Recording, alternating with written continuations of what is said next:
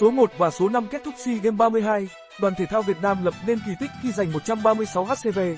Đây là lần đầu Việt Nam đứng nhất toàn đoàn ở một kỳ SEA Games không tổ chức trên sân nhà.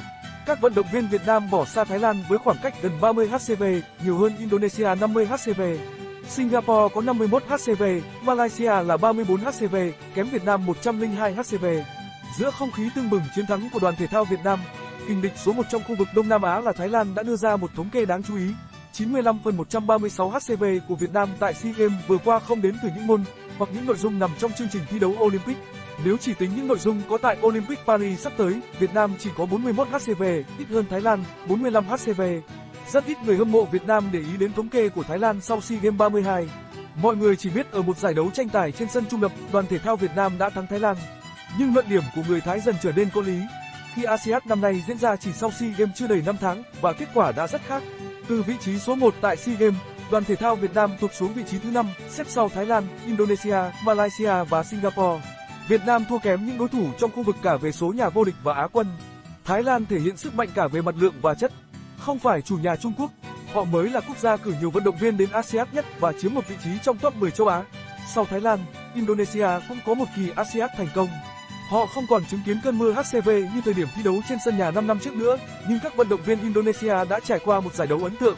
Họ cầm chắc một vị trí trong top 15 châu Á, xếp ngay trên Malaysia. Singapore cũng có 3 HCV, 6 huy chương bạc trước ngày bế mạc giải. Ở chiều ngược lại, đoàn thể thao Việt Nam chỉ kết thúc ASEAN ở tiêu chí đạt chỉ tiêu đã đề ra. Mục tiêu giành 2, 5 HCV đã thực hiện được, nhưng thực tế là Việt Nam không phải cường quốc thể thao số 1 Đông Nam Á khi bước ra sân chơi quốc tế nữa. Mục tiêu Olympic vì thế lại càng khác biệt khi Thái Lan, Indonesia đều đã chuẩn bị kỹ lưỡng cho con đường tiến ra thế giới. Việt Nam đã thất bại ở ASEAN 19. Đó là nhận xét của một trong những trang tin hàng đầu Indonesia khi xứ vạn đảo vượt rất xa Việt Nam trên bảng xếp hạng tổng sắp huy chương. Đây là thực tế khó chấp nhận, nhưng đúng với những gì đã diễn ra ở mỗi kỳ ASEAN. Các vận động viên Việt Nam thường gặp rất nhiều khó khăn khi bước ra sân chơi châu lục, chậm chân trên hành trình lớn. Đâu là nguyên nhân khiến thể thao Việt Nam tụt lại phía sau khi tiến ra ASEAN và Olympic? Chương trình thi đấu mất cân đối, thiếu đồng bộ giữa SEA Games và ASEAN là một trong những nguyên nhân.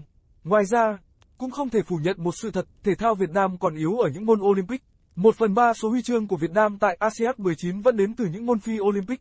Kể từ Á vận hội Busan 2002, thể thao Việt Nam mới có 3 HCV ASEAN ở các môn Olympic là bắn súng, 1 HCV, và điền kinh, 2 HCV.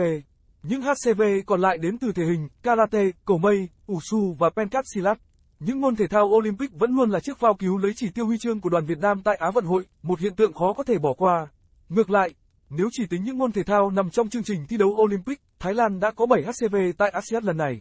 Indonesia cũng có tới 5 HCV, ngay cả khi họ không còn hy vọng cạnh tranh huy chương ở môn sở trường là cầu lông.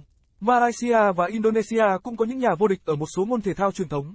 Việt Nam cần xem xét cách tiếp cận thể thao quốc gia và đảm bảo rằng chuẩn bị cho ASEAN và Olympic đều có tầm nhìn chi tiết và mục tiêu cụ thể để nắm bắt cơ hội và thách thức tại các sân chơi quốc tế. Có một bí quyết giúp bốn quốc gia Đông Nam Á nói trên khẳng định vị thế ở đấu trường châu lục và thế giới. Họ luôn có một vài môn kỳ, môn thế mạnh và liên tục đào tạo ra những vận động viên đẳng cấp thế giới. Indonesia có bắn súng, cử tạ, Singapore có bơi, điền kinh, Thái Lan có boxing, cử tạ, taekwondo, điền kinh. Một chi tiết đáng chú ý khác là các quốc gia Đông Nam Á đã bắt tay rất nhanh vào việc đi tắt đón đầu một số môn thể thao vừa xuất hiện hoặc chuẩn bị có mặt tại Olympic. ASEAN 19 chứng kiến màn cạnh tranh nội bộ giữa các vận động viên Đông Nam Á ở môn đua thuyền buồm.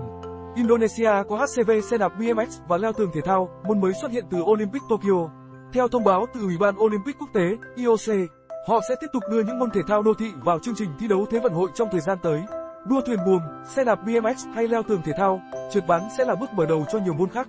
Đó có thể là squash, bóng quần, môn thể thao giúp Malaysia giành tới 3 HCV tại kỳ Á vận hội Hàng Châu. Nỗ lực của những vận động viên, của những người làm thể thao Việt Nam trong việc khai phá các môn mới là đáng ghi nhận. Tuy nhiên, thành tích của Việt Nam trong những môn thể thao đô thị là không đáng kể. Nếu tiếp tục chậm chân, Việt Nam sẽ để lỡ nhiều cơ hội khác khi thể thao đô thị xuất hiện thêm tại Olympic. Khó điều chỉnh. Trong một kỳ Olympic mà điền kinh Việt Nam trắng tay, Chủ tịch Liên đoàn điền kinh Thái Lan đã từ chức vì không có huy chương vàng. Trước ấm vận hội Hàng Châu, ông San Salutenon, người đứng đầu môn điền kinh của Thái Lan đã tuyên bố mang HCV về. Nhưng cuối cùng, Thái Lan chỉ có hai huy chương bạc và Salutonon phải ra đi. Câu chuyện của điền kinh Thái Lan là minh chứng cho thấy họ thường rất mạnh tay trước những điều chỉnh và thay đổi. Trên phương diện thi đấu, một vận động viên luôn phải tập luyện chuyên cần với cường độ cao và đảm bảo thành tích nếu không muốn mất vị trí vào tay người khác. Ở cấp độ quản lý, người đứng đầu của một số môn thể thao sẽ phải ra đi nếu thành tích không như kỳ vọng. Ngược lại với Thái Lan và nhiều quốc gia Đông Nam Á khác, thể thao Việt Nam thường gặp khó trong việc điều chỉnh để phù hợp với tình hình thực tế.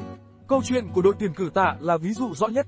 Giống như điền kinh, cử tạ là một trong những môn thể thao đăng ký chỉ tiêu giành huy chương tại ASEAN lần này, nhưng lại trắng tay ở những nội dung thi đấu sở trường.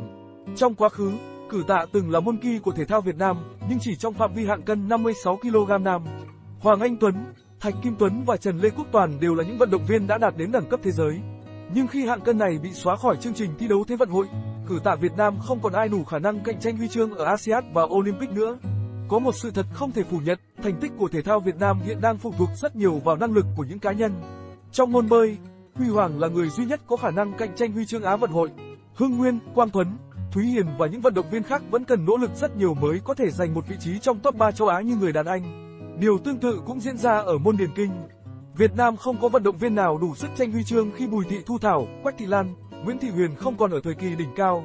Nếu chỉ tiếp tục dựa vào các cá nhân, thể thao Việt Nam sẽ tiếp tục gặp khó khăn trên con đường tiến ra thế giới, nơi ASEAN trở thà.